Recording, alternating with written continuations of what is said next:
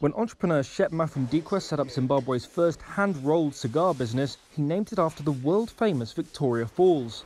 The local name, Mosi oa Tunya, meaning the smoke that thunders.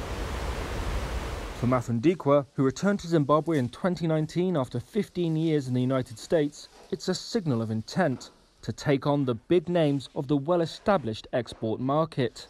We have uh, solid interest right now from uh, uh, Romania and from Vietnam, and we've got uh, inquiries from Dubai.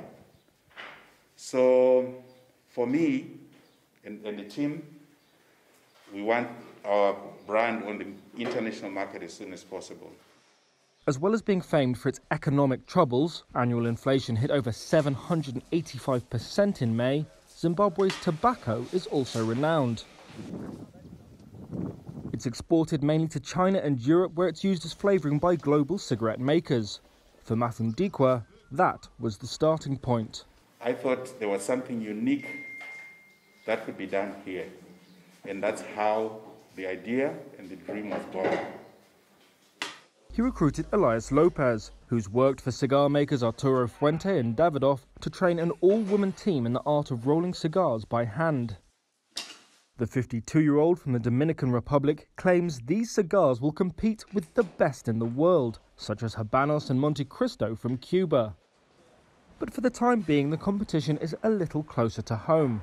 Bongani Cigars, launched last year in another southern African nation, Mozambique, is also seeking to crack the luxury cigar market. As well as export, Mafundikwa wants to develop a cigar market locally by making affordable brands.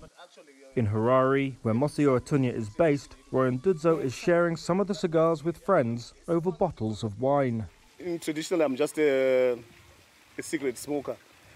I decided to take this on a trial basis, and I'm surprisingly enjoying it. It is this flavor within it that I don't get from my my normal cigarettes.